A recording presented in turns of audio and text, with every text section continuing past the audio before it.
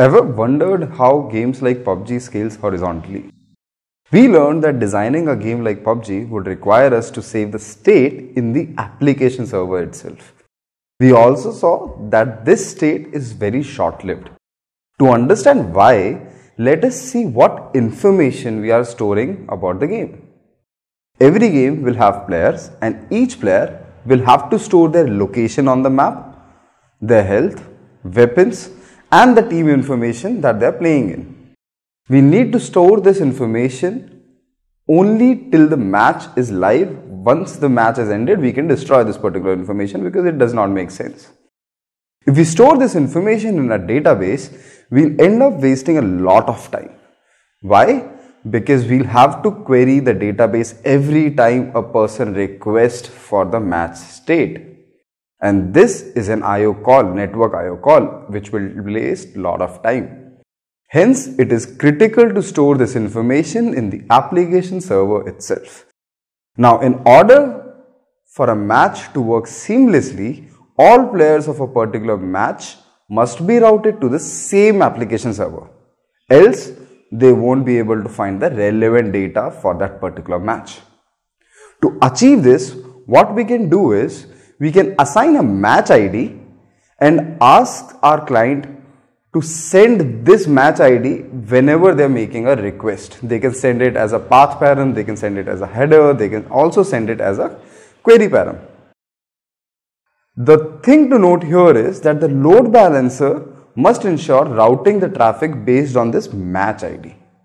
In simple words, if the first request for let's say match ID 2 goes to server 1, all the subsequent requests of same match ID must be routed to server 1 only. Which algorithm can we use to distribute this traffic?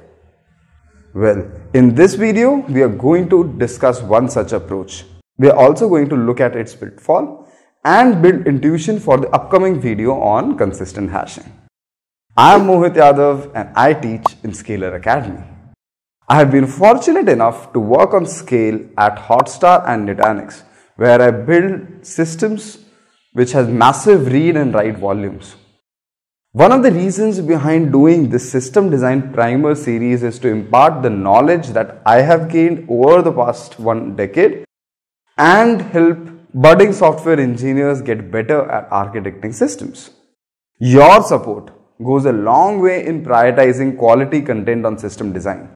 Hence, please like, comment and share this video with your friends also, we have a lot of new videos on system design. Hence, it is important for you to subscribe to our channel and click on that bell icon to get notified about our new upcoming videos. Now coming back to the topic. Remember our goal was to distribute the load in such a way that all the requests with same match ID must be routed to the same server. Match ID to server 1 all subsequent requests of match ID 2 going to server 1. The second point was that the load should be uniformly distributed. Meaning if I have n servers, load on each server must be equal to or must be nearly equal to 1 by n. And finally, I should be able to add or remove instances from the cluster. Why? Because that is the essence of horizontal scaling. I don't want to build an infra where I have constant number of machines. My load on the system can increase or decrease. Depending upon that, the number of servers in my cluster can increase or decrease. The first strategy, if I have to think about the approach, the first strategy that comes to my mind is that I have a match ID and if I have to route traffic to each of the servers evenly, the basic strategy that comes to my mind is that I can simply take a mod of match ID with the number of servers, which is n. This number will signify which server will process my request. Let's take a few match IDs to see how exactly this is going to happen if we have three servers running. Let's say the match ID is 11, 11 mod 3 is 2, 42, 42 mod 3 is uh, 0, so it will be routed to the 0th server. 34 mod 3 is 1, so it will be routed to first server. Similarly, 53 mod 3 is 1, 63 mod 3 is 0, which will be routed to 1 and 0th server respectively. We see that the above approach will satisfy my first two goals. Let's dig a little deeper to find out what will happen if we add one more server. Now my number of servers or n becomes 4. So let's consider all the examples, all the match IDs that I took in the previous case where n was equal to 3. So now since n is equal to 4, 11 mod 4 will become 3, 42 mod 4 will become 2, 34 mod 4 will again be 2, 53 mod 4 is 1 and 63 mod 4 is 3. Now let's consider the other case where we are removing one instance from the cluster. 11 mod 2, 1, 42 mod 2, 0, 34 mod 2, again 0 and 53 mod 2 is 1, 63 mod 2 is again 1. Now what is happening here? Let's consider the first case. If the match ID is equal to 11, which was getting routed to server 2 when we had 3 servers, will now be routed to server 3 when we add a new instance. Unless we transfer the data which is already residing in server 2 to server 3, our users will not be able to get the match information. And as we can clearly see from the examples that we took above, whenever there is a change in the number of servers, a majority portion of the keys will be distributed to the new servers. And this by no means is an ideal behavior.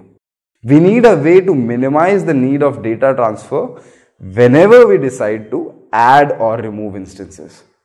Now before winding up, I would like to give you a home assignment. That's a maths puzzle. The puzzle goes like this.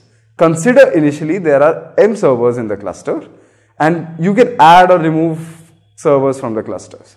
Let's say you do some add or remove operation and the final number now becomes n. This n can be greater than m meaning that I have added new servers in the cluster or it can be less than m which means that I have removed few servers from my cluster. What you have to do is you have to write an equation using which you can find out the amount of data that will be moved. Write your answers in the comment section and we'll see who gets it right. I hope you all get an idea about basic approach for load balancing in stateful systems. We will look at a better approach which is consistent hashing in the upcoming video. If you like the video, please like, comment and share this video as much as you can. Share it with your friends, family, whoever you think needs to get better in architecting. And at the end, there are upcoming videos on system design. So please subscribe and click on the bell icon to get notified about our new upcoming videos. Thank you.